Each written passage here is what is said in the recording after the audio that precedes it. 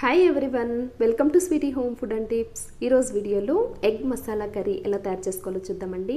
ఈ egg masala curry చాలా టేస్టీగా ఉంటుంది. ఇప్పుడు తయారీ విధానం చూద్దాము.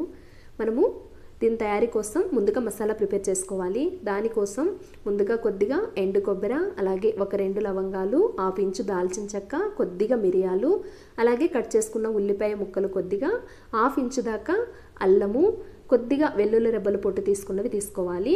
తర్వాత వచ్చేసి పల్లీలు బాగా వేయించుకొని పొట్టు తీసేసుకున్న పల్లీలు కొద్దిగా తీసుకోవాలన్నమాట. ఆ తర్వాత ఇందులోకి మనము మసాలాలు కూడా వేసేసుకోవాలి. మసాలాల్లో one and half table spoon దాకా కారం పొడి అలాగే one and half table spoon దాకా ధనియాల పొడి కూడా వేసుకోవాలి. తర్వాత హాఫ్ టేబుల్ స్పూన్ దాకా పసుపు కూడా వేసుకోవాలి. తర్వాత వీటన్నిటిని కలిపి మనము మిక్సీ పట్టుకోవాలండి. ముందుగా కొద్దిగా ఎండు కొబ్బరి అలాగే ఈ పల్లీలు వేసేసుకొని కొద్దిగా బరకగా గ్రైండ్ చేసుకొని తర్వాత అన్నీ వేసేసుకోవాలి ఈ విధంగా. తర్వాత కొద్దిగా వాటర్ వేసుకొని మెత్తగా గ్రైండ్ చేసుకోవాలన్నమాట. కొద్దిగా వాటర్ వేసుకోవాలి. ఈ విధంగా మనము గ్రైండ్ చేసుకొని పక్కన పెట్టుకోవాలి. తర్వాత మనకు కావాల్సినన్ని ఎగ్స్ ఉడికించుకొని ఇలా పెట్టుకోవాలండి. నేను ఇక్కడ ఫోర్ ఎగ్స్ తీసుకొని ఉడికించుకొని పొట్టు తీసేసుకొని పెట్టుకున్నాను. తర్వాత వచ్చేసి స్టవ్ ఆన్ చేసుకొని అందులోకి ఒక రెండు టేబుల్ స్పూన్ల దాకా ఆయిల్ వేసుకోవాలి. తర్వాత ఇందులోకి కొద్దిగా ఒక చిటికెడు పసుపు అలాగే కొద్దిగా కారం పొడి కొంచెం సాల్ట్ కూడా వేసేసుకోవాలన్నమాట. తర్వాత వచ్చేసి మనం ఉడికించుకొని పెట్టుకున్న ఎగ్స్ ఉన్నాయి కదండి ఇవి వేసేసుకొని ఫ్లేమ్ని సిమ్లో పెట్టుకొని ఒక టూ సెకండ్స్ అలా ఫ్రై చేసుకోవాలన్నమాట. ఈ విధంగా కొంచెం ఈ ఎగ్స్ ఫ్రై అయిన తర్వాత ఈ ఎగ్స్ని పక్కకు తీసేసుకోవాలి. వీడియో నచ్చితే ప్లీజ్ లైక్ చేయండి. చాలామంది వీడియో చూస్తున్నారండి లైక్ చేయడం లేదు. ప్లీజ్ ఒక లైక్ చేయండి. ఈ విధంగా మనం ఎగ్స్ని పక్కకు తీసేసుకొని తర్వాత ఇందులోకి కొద్దిగా ఆవాలు అలాగే కొద్దిగా జీలకర్ర ఒక రెండు పచ్చిమిర్చిని ఈ విధంగా పొడవుగా కట్ చేసుకొని వేసుకోండి. కొద్దిగా ఉల్లిపాయ ముక్కలు అలాగే వెల్లుల్లి రెబ్బలు కొంచెం కచ్చపచ్చగా దంచుకొని ఒక రెండు వేసుకోండి. తర్వాత కొద్దిగా కరివేపాకు కూడా వేసుకొని వీటిని కొంచెం అలా వేయించుకోవాలన్నమాట.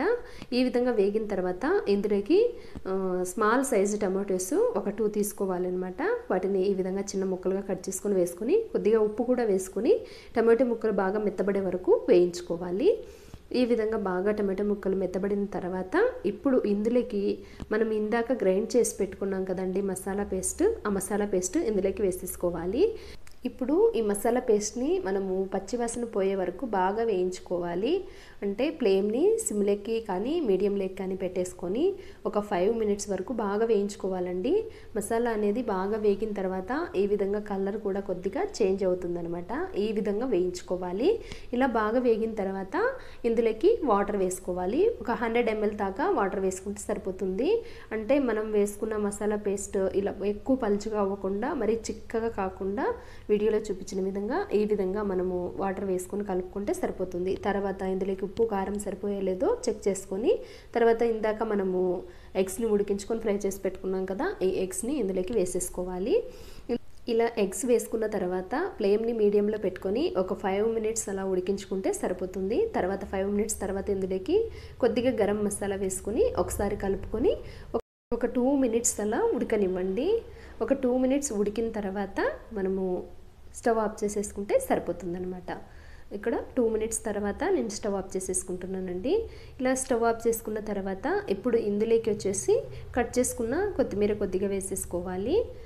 ఇలా ఒకసారి మీరు కూడా ఎగ్ కర్రీ ట్రై చేసి చూడండి. చాలా అంటే చాలా టేస్టీగా ఉంటుందండి. మీకు ఈ వీడియో నచ్చింటే ప్లీజ్ లైక్ చేయండి. అలాగే మన ఛానల్లో చాలా వీడియోస్ ఉన్నాయి. వీడియోస్ చూడండి. వీడియోస్ నచ్చితే లైక్ చేయండి. Okay friends bye. Thanks for watching.